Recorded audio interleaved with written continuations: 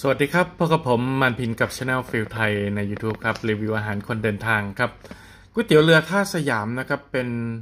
ก็เรียกว่าเป็นก๋วยเตี๋ยว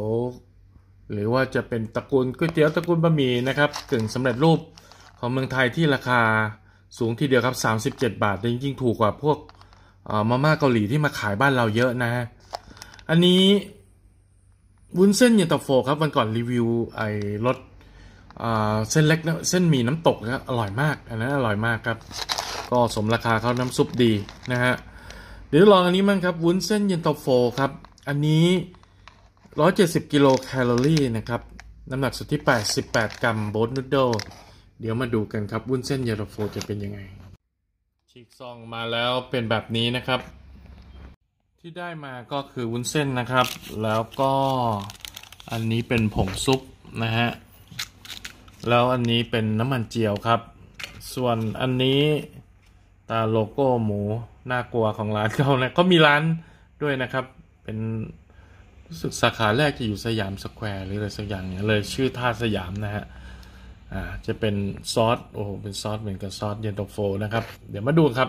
เดี๋ยวผมจะทำแบบไมโครเวฟครับ 400ซีซีน้ำ400ซีซีแล้วก็เวฟ3-5 นาทีครับผม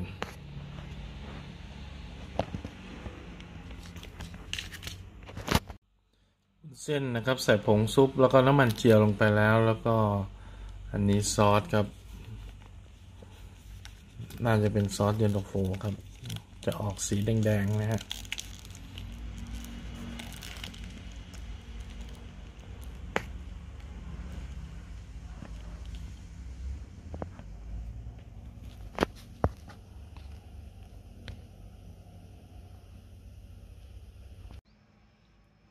ติมน้ำลงไปแล้วครับ เดี๋ยวไปเวฟไปเวฟมาแล้วครับ มาดูกันว่าเป็นยังไงวุ้นเส้นนะฮะ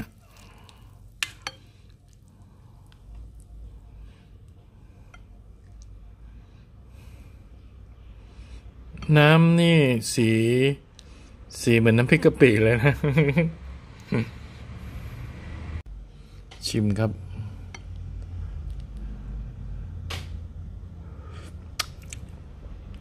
อืม ใช้ได้ครับ เจ้านี้หอมอร่อยดี แต่ทานพวกนี้เนี่ยต้องเช็คปริมาณโซเดียมข้างซองด้วยนะครับว่าเท่าไหร่นะครับ เพราะว่าของพวกนี้เนี่ยจะโซเดียมเยอะหน่อยทุกยี่ห้อนะคราวที่แล้วเนี่ยมีบทเรียนจากตอนที่กินเนี่ยครับก๋วยเตี๋ยวเรือเส้นหมี่น้ำตกอร่อยมาก จริง ๆ ถ้า เทียบกันแล้วเนี่ยรสชาติ ผมชอบอันนี้มากกว่าที่เป็นเส้นหมี่น้ำตกนะครับ แต่เย็นตาโฟนี่ก็เปลี่ยนบรรยากาศเหมือนกันนะฮะรสชาติจะมีปลาแรมหวานนะ แล้วก็หอมกระเทียมตามขึ้นมาในจมูกนะครับ มีรสอื่นตามลงมา เป็นแบบรสเต้าหู้ยี้อะนิดหนึ่งนะครับ เมื่อกี้เหมือนมีน้ำมันเจียวตรงนั้นเนี่ยยังไม่ค่อยนั่นให้กระจายตัวกว่านี้อืมบทเรียนคราวที่แล้วก็คือว่าน้ำซุปเขาดี แต่ว่าเวลาทำกินที่บ้านเนี่ย มันต้องมีเครื่องอะไรด้วยใส่ลงไปเพิ่มนะ ให้มันเป็นรูปร่างอย่างเงี้ยนะครับ เพราะว่าอันนี้ราคาถือว่าไฮโซ แต่ว่าจะไม่มีอะไรเลยนอกจากเส้นกับน้ำนะครับ ผมก็เลยไปซื้อลูกชิ้นมา ลูกชิ้นจากปากซอย ลูกชิ้นแต้จิ๋วขายในเซเว่นให้มันดูมีอะไรหน่อยนะครับ ราะว่าถ้ากินเปล่าๆน้ำซุปแล้วมันหวงหวงนะฮะโอ้เมื่อกี้ยังไม่ได้ชิมเส้นเลยนะฮะวุ้นเส้นเนี่ยเมื่อกี้คนแล้วยังตอนแรกมันยังไม่ค่อยนั่นนะต้องตั้งไว้สักนิดหนึ่งพวกนี้เนี่ยพอเวฟเสร็จแล้วอาจจะตั้งไว้นิดหนึ่งนะครับ เพื่อให้มันเข้าที่แต่วุ้นเส้นนี่ต้องรีบกินเร็ว ไม่งั้นเนี่ยมันจะบวม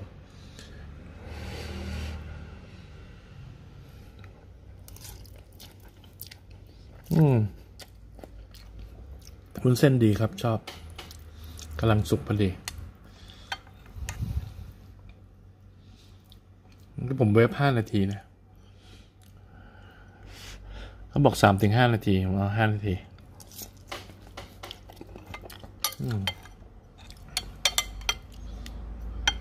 ก็คงไม่ต้องอ้าปากกินให้ดูนะ ใครที่ เห็นลูกชิ้นนี่ต้องย้ำอีกครั้งว่าไม่ได้มากับซองนะครับซองแล้วมามีแต่เครื่องปรุงกับวุ้นเส้นนะฮะอืมพอมีลูกชิ้นแล้วเนี่ย ก็ยังชั่วน่อยครับ มันจะรู้สึกว่ามีอะไรประกอบเป็นความเคยชินที่ไม่เหมือนมาม่าทั่วไปนะครับ ทั้งสองรสนะรสที่รสที่ผมชอบคือเส้นหมี่น้ำตก นี่เขาไม่ได้จ้างผมมารีวิวนะ นี่รีวิวเองจ่ายเงินเองทุกอย่างนะครับ อันนี้อร่อยกว่าเยอะ ถ้าความเห็นผม อันนี้ก็ใช้ได้นะครับ แต่ว่าถ้ามาเทียบกันสองอันนี้แล้วเนี่ยอันนี้อร่อยกว่าเยอะ แต่ผมว่าทั้งสองรสเนี่ยนะฮะไม่เหมาะกับจะกินแบบปอกไข่ใส่ลงไปอืมอันไม่ไม่ไม่น่าจะเหมาะอย่างนั้นนะดูจากรสชาติแล้ว ก็รีวิวมาฝากกันครับ วุ้นเส้นยาวตุโฟนะครับท่าสยาม แล้วพบกันใหม่ครับกับช anel ฟิลไทยใน YouTube เดี๋ยวผมก็จัดการต่อครับนะฮะสวัสดีครับ